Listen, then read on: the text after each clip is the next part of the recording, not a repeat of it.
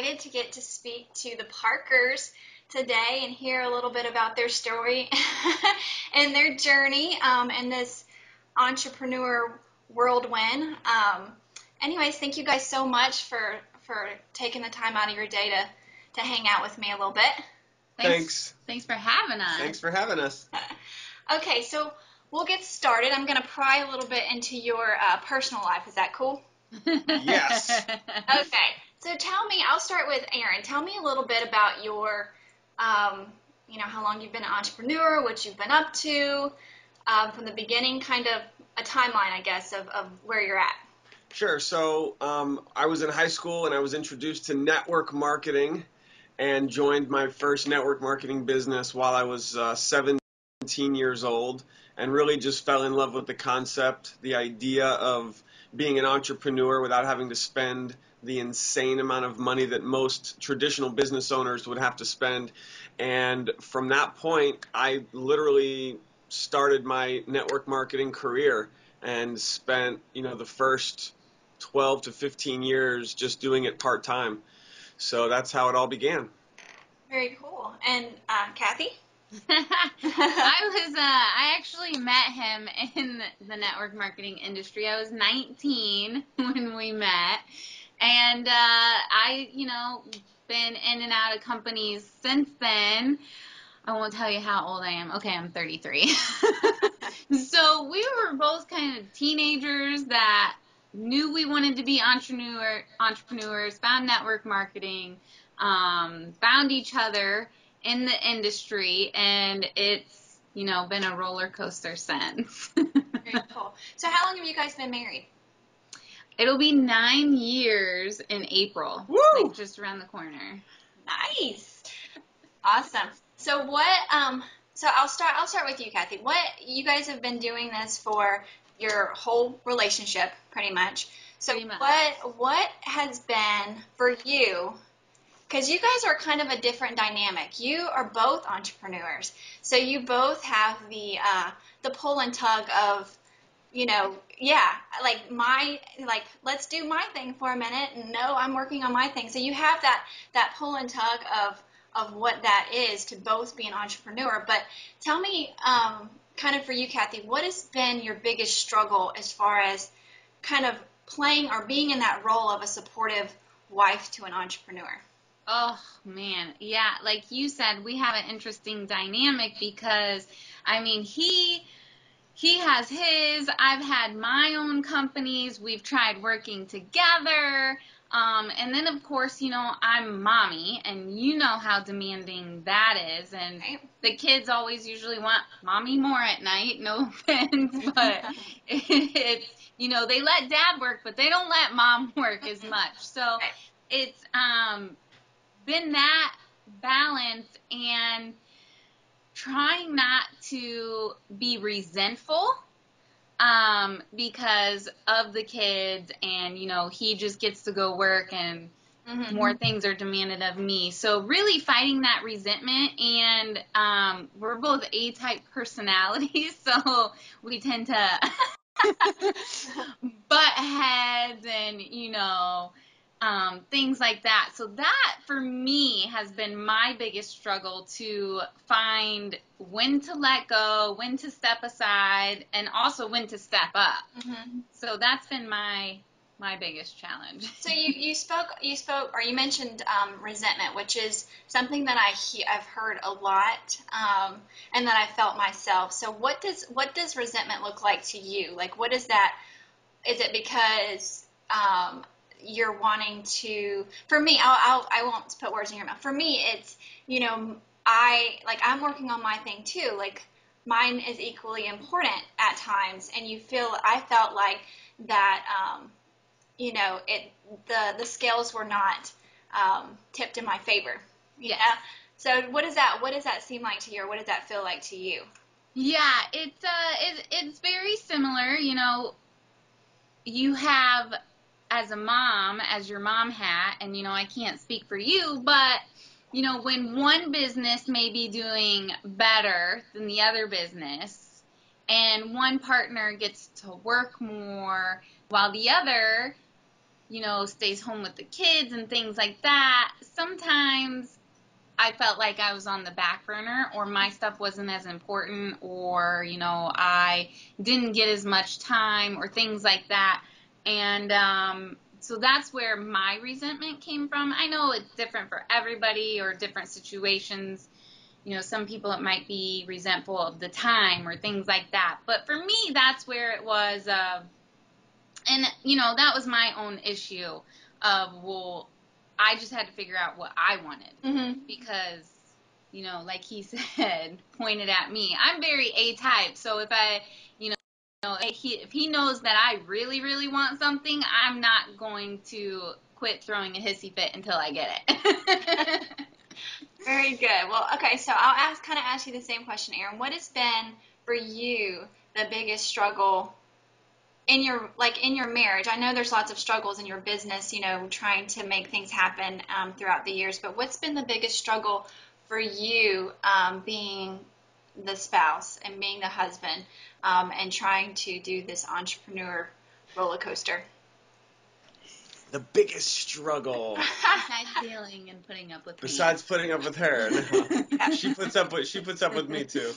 Um, you know, I think that the biggest struggle, you know, is is the balance. I mean, we all want balance, and it's it's how how much am I going to work and not have the balance of spending time with Cathy and spending time with the girls and spending time with the family, and it's finding that you know that balance of being able to to go after our dreams and, and taking the business to the next level. Um, you know, making sure that I am, you know, being sensitive to all the, the stuff that she's doing and appreciating her.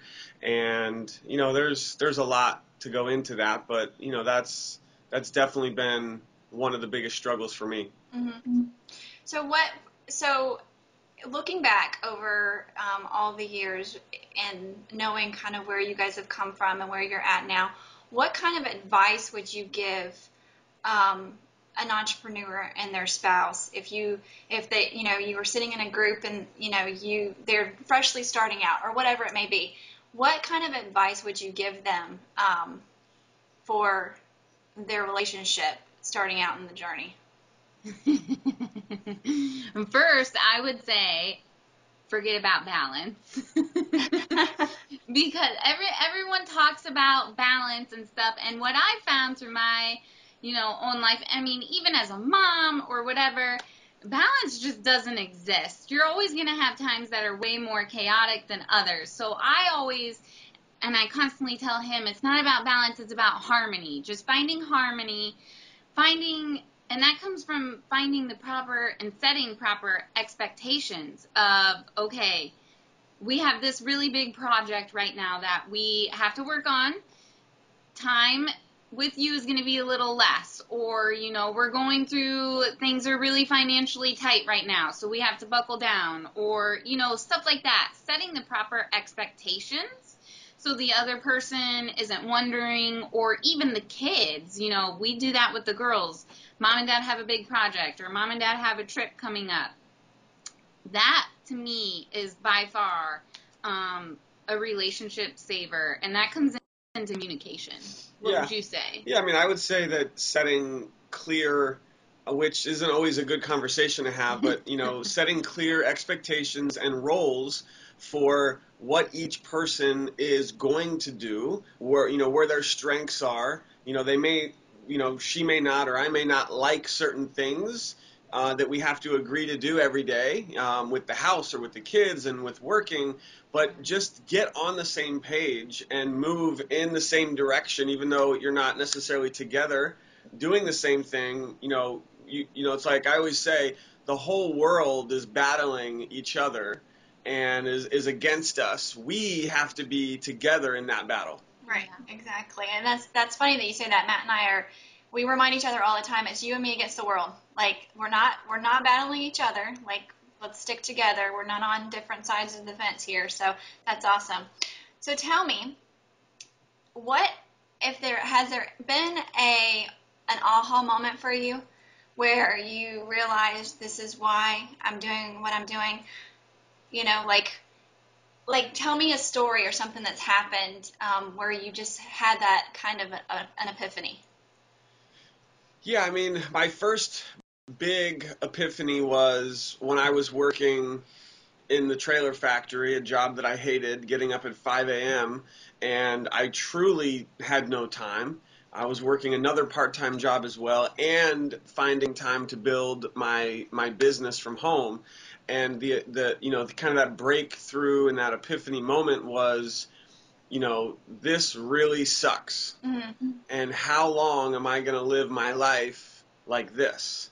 You know, something has to change. Mm-hmm. And so we really, you know, banded together and and that's when I really kind of shifted my mindset in realizing what I had to do to break free from the daily grind and, and having a bo- having a boss and having jobs and was able to you know go full time home. And that was you know just about three um, three years ago somewhere around there.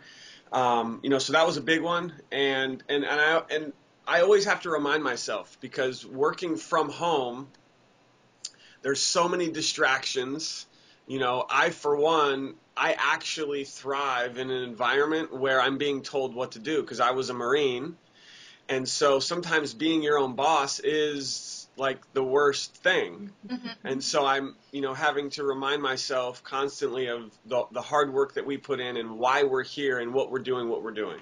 Yeah. What about for you, Cathy? What has there been a moment for you? Yeah, it was around the same time that he was working in an RV factory. So he was would come home just covered in fiberglass, and the girls were little, like um, one and three, and he also was working a part-time job after that. So he would work 10, 12 hour days, and then go to a part-time job after that, and trying to figure out internet marketing. And at the same time, I had my own um, MLM that I was building, and he would come home and the girls would want to give him a hug, and he couldn't because he was covered in fiberglass, and they would have to wait, and then he would, you know, shower, change, spend 10 minutes, and then have to leave, and they were getting resentful, a one and three year old, at him. And that was just heartbreaking for both of us. And that was like, okay, I have to help him slowly eliminate these jobs so he can go do what he can do. Because you know I believed in him. I knew he could do it. He just needed time to figure it out. So that was that was a big one yeah. for me. Is there anything that you guys would change? You know we all have those moments where you're where you're sitting and you're thinking about it and you're like ah I wish I wouldn't have done that. Or, you know, I can't believe I said that. What's wrong? Like, why did I do that? Is there any moments through, you know, being an entrepreneur that you're like, uh, I would, I would definitely have changed that with each other, not in your business, but with your, with each other. Ah. With each other. Ooh, that's a tough one. um, that's a tough one. What would we change?